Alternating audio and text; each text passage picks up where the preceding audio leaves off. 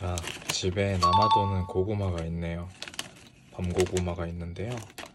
삶아서 먹기에는 좀 시간이 오래 걸릴 것 같고 전자레인지를 이용해서 좀 빠르게 한번 익혀볼게요. 준비물은 이 키친타올로 고구마를 감싸고 그 다음에 이제 물을 적셔서 전자레인지 한 8분 정도로 어, 돌리면 끝납니다. 키친타올을 이렇게 감싸서 물에 적시면 됩니다. 자, 하나를 완성해놨고요. 이렇게 감싸주면 됩니다.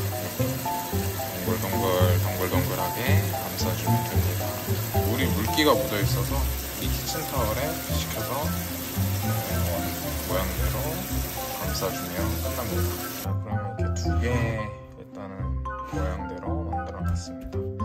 전자레인지에 8분 정도 돌려볼게요. 뿅. 자, 전자레인지 한 8분 정도 돌리면 됩니다. 꺼내실 때는 매우 뜨거우니까 이 집게 이 반드시 집게로 전자레인지에서 꺼내시는 걸 추천합니다.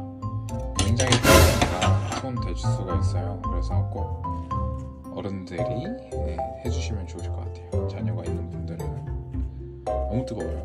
그래서 조심하셔야 돼요.